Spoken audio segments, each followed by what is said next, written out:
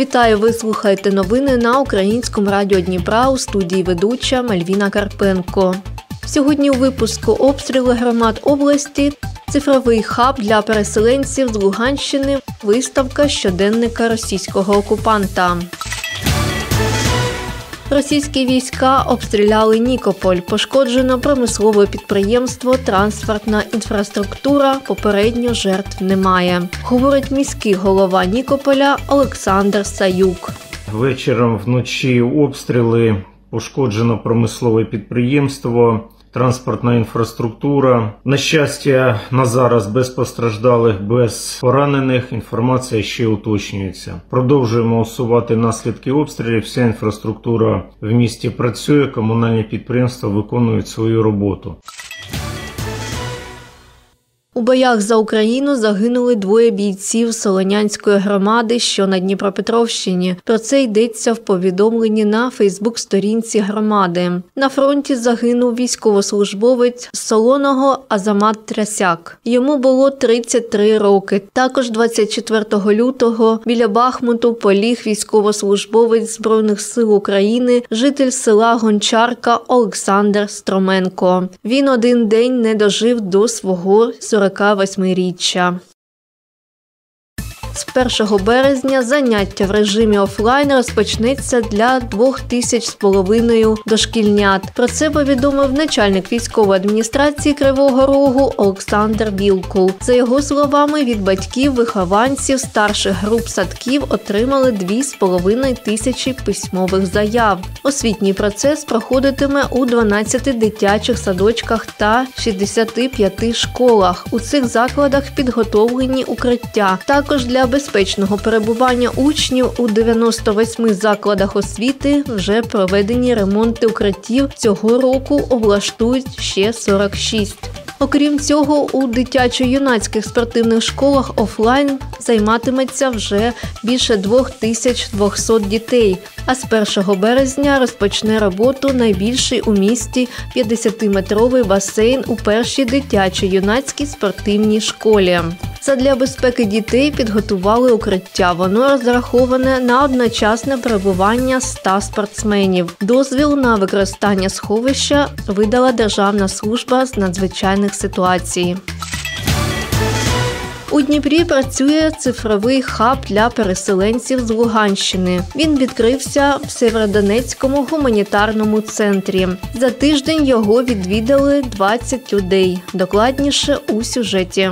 Оксана з початку повномасштабного вторгнення приїхала з Северодонецька до Дніпра. Багато речей з собою взяти не змогла. Не брала і комп'ютер. Сюди приходить працювати в інтернеті. Вже раза три зверталася. Це дуже гарно, що є таке місто, де можна е, сісти в інтернеті, попрацювати е, з якимись документами, кот- котрі необхідні по роботі. Петро житель Дніпропетровщини. Вдома у чоловіка немає інтернету та комп'ютера. Про хаб дізнався з оголошень. Хотел научиться, да. Э, Хотів навчитися користуватися дією. Що воно взагалі таке? Записали мене на навчання. Коли група набереться, буду відвідувати. Зараз цікавлюся допомогою для побуту, прогнозом погоди. Помощь для быта, прогноз погоды. В цьому цифровому хабі люди можуть безкоштовно працювати з ноутбуком та користуватися Wi-Fi. Відкрився він в Северодонецькому гуманітарному центрі. Говорить консультантка цифрового хабу Юлія Титова. Ми можемо проконсультувати щодо порталу Дія, його можливостей. Всі ми знаємо, що багато людей, е, вимушених переселенців, не мають можливості користуватися гаджетами та потребують більшої консультації щодо отримання послуг. Тому е, наші спеціалісти будуть раді навчати мешканців цифрової грамотності незалежно від віку. Цей проєкт фінансується Швейцарією і виконується фондом Східна Європа у співпраці з Мінцифрою. За тиждень роботи цифровий хаб відвідало близько 20 людей. Анастасія Галасюк, Олександр Буряк, Суспільне новини.